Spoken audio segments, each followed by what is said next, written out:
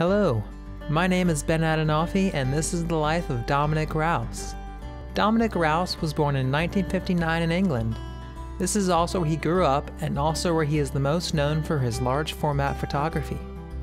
He is also known in Asia, Australia, North and South America, and he is especially known all over Europe. But he wasn't always a large format photographer. Before he got into large format photography, he was actually a press photographer.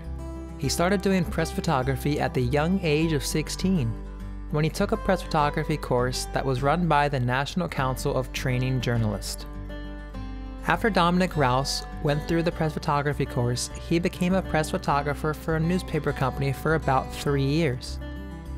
He mainly left press photography to start doing large format photography because he started to get bored of doing normal press photography, and he said that it just didn't really matter.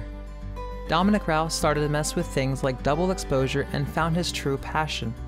He is currently 58 years old, which means that he has been an artist and photographer for exactly 42 years now. Dominic Rouse has also dabbled in a couple of different areas of art, one of them being photojournalism.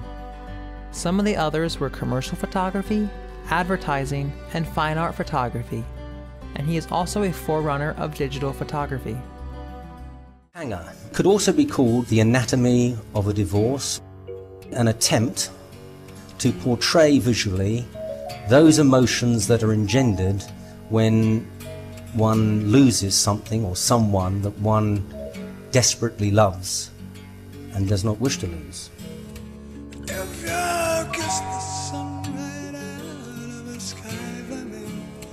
If you told me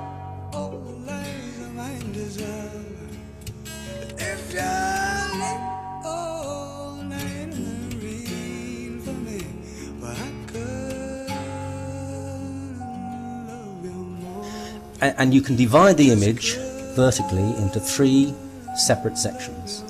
The figure hanging on the door, the, the hanger inside the, the, the, the closet, I think you guys call it, we call it a wardrobe.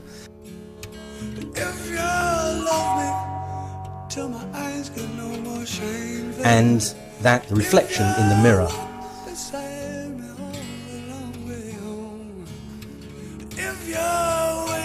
It is, of course, one cannot escape admitting, autobiographical.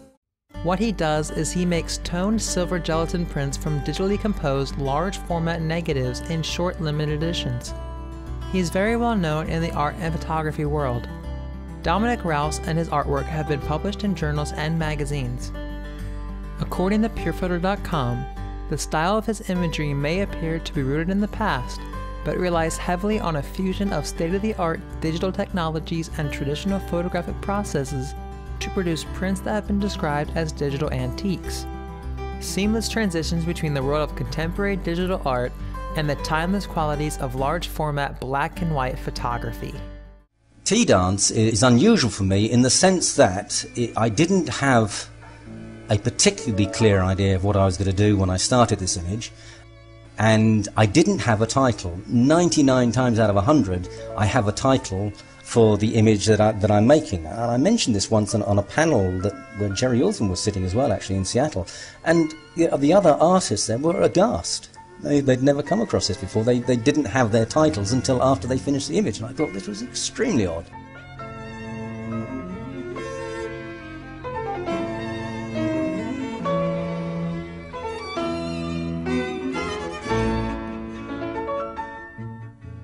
So anyway, this is an instance where I, I kind of started out and I started playing. I, and uh, the first thing I, I, worked on and got together, more or less, was the background. And it went together rather nicely, even if I say so myself.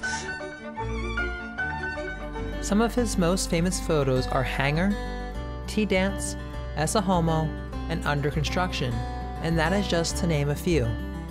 Dominic Rouse says in his biography on his website that he is a fan of painting, especially older paintings like from the Romantic era, because they had more understanding when it comes to lighting. And he said that photographers have understanding, but not as much as painters do, which is a shame. Painting is more of an expressive art form than photography, because there are more limits when it comes to painting. especially now with the invention of the computer. One of the only pieces of equipment that Dominic uses is a drum scanner, which scans the film so that he can begin to create his pieces of artwork. Dominic Rouse was a pioneer to digital photography, and he gave new life to black and white photography.